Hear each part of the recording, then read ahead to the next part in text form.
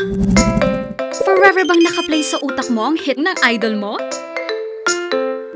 Just hit the push button sa first ever Push Awards!